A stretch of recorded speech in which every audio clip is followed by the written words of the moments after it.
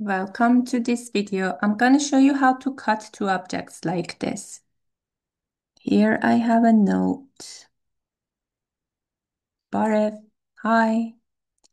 If you want to delete a note, you can do this. But how can you add one?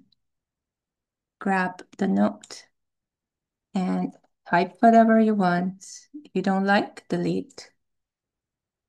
You can close and open your note. And if you want to delete, open it, click inside of it, and then delete. Okay, that's that. And then I've cut this object using the scribble tool, and I'm gonna show you how. Try to guess it. Maybe you can guess because you already see like how I have done it, right? Let's bring, uh, so I'm gonna put these shapes to another side and I'm gonna hide them. If you want to hide something, click this um, hide icon here and then it will hide. If you want to bring it back, you can show. The light bulb turns it on and off. Okay. Uh, I will make a similar shape to show how this works. I started from a cube and I made it a little bit taller. And if you open this menu, you can increase the radius and make it have a, a rounder shape. Let's make it a little bit bigger.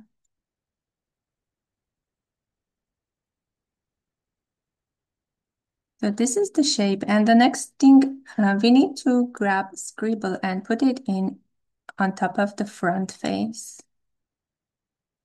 And now we can draw something like this.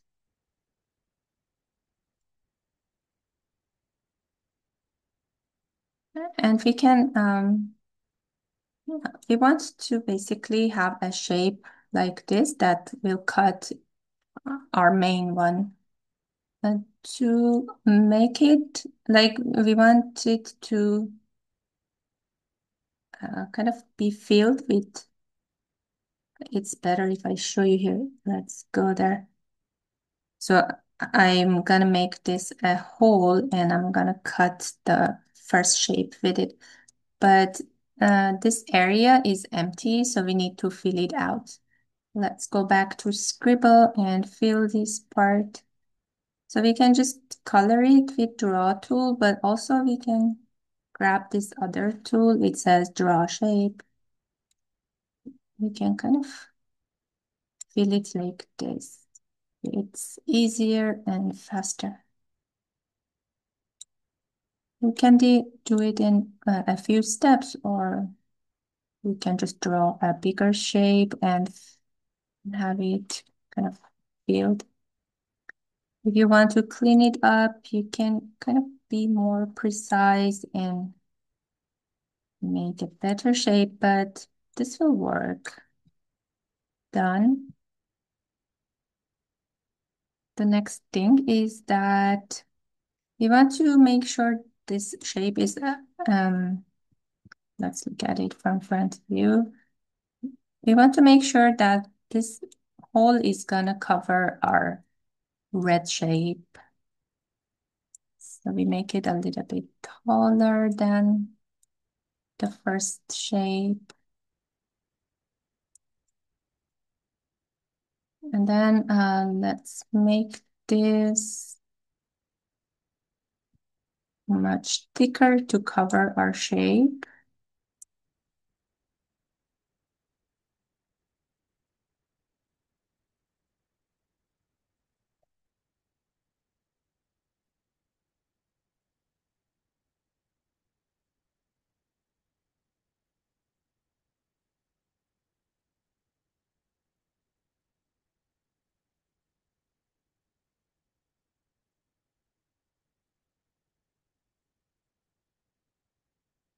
So place it where you think it's gonna look good and then uh, make sure it covers like your shape from top and bottom and then from the sides. And then uh, so, okay. And then the next thing we need to do is to cut the shape. But before cutting uh, let's make a copy of this one. Just click here or press ctrl D on your keyboard and put it somewhere else just keep it for later and then uh, let's group this one with this one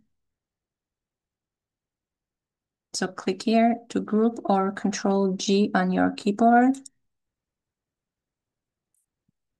Now you have one part of the shape and the next thing is we can make this one a hole and then cut this shape with it.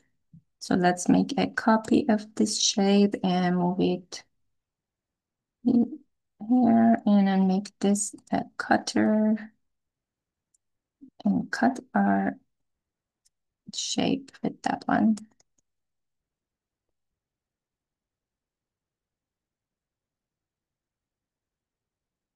Let's group these two by selecting both and grouping.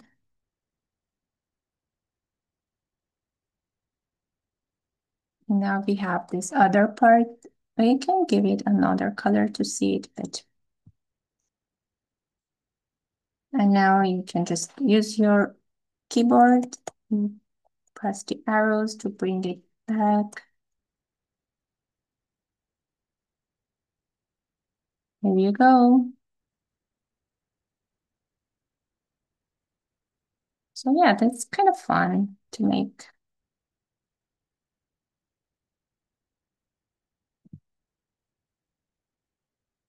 Now let's say you want to save your save a picture of your um, your project. You can go here, send to, and then from here you can download the picture.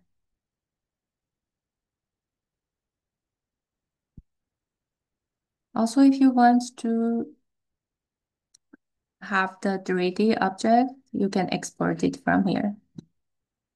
Let's see what this will give us.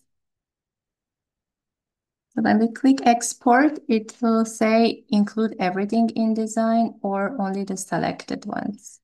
So it's a good idea to know what we are exporting so we can select whatever we want to export. And then when we select, we go to export. Um, this will be on. Again, we can choose everything or we can just grab the selected thing and choose our format, OBJ, STL, or this other one, or this one. If you want to see more, mm, like all the formats, what, what they do, go here, more information, and you will find like all the explanations about what each one is and the use of um, the file formats. So yeah. Yes, that was it for today. I hope you enjoyed it. And if you liked it, give it a thumbs up and um, yeah, subscribe and see you next time. Bye.